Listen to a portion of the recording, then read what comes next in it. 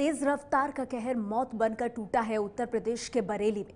Truck और car की टक्कर में छह लोगों की मौत हो गई है। कार में सवार होकर लोग बरेली से पीलीभीत जा रहे थे, जबकि ट्रक नवाबगंज से बरेली की ओर जा रहा था। आप तस्वीरों को देखिए, कार की हालत आप देखिए, बुरी तरह से पिचक्कर खत्म हो गई है ये कार। रास्ते में एक पुलिया के पास ये बताया जा रहा है कि इस कार की और ट्रक की टक्कर हो गई। सड़क हादसे में छह लोगों की मौत हो गई है। ट्रक ने कार को कितनी ज़बरदस्त तरह से टक्कर मारी है, आगे का हिस्सा बिल्कुल पहचान में नहीं आ रहा है।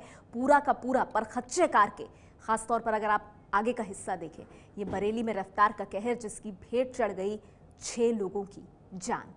हादसे में छह लोगों की मौत हुई है।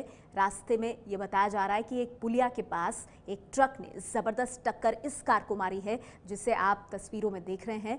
ट्रक और कार की इस टक्कर में छह लोगों की मौत हुई है। कार में सवार होकर लोग बरेली से पीलीभीत जा रहे थे। ये जो कार आप देख रहे हैं, इसमें सवार थे लोग जो कि बरेली से पीलीभीत जा रहे थे, लेकिन इस दौरान एक पुलिया के पास एक ट्रक ने ज़बरदस्त टक्कर इस कार को मारी और कितना भयावह रहा होगा, वो मंजर आप देख रहे हैं तस्वीरों में कार की हालत।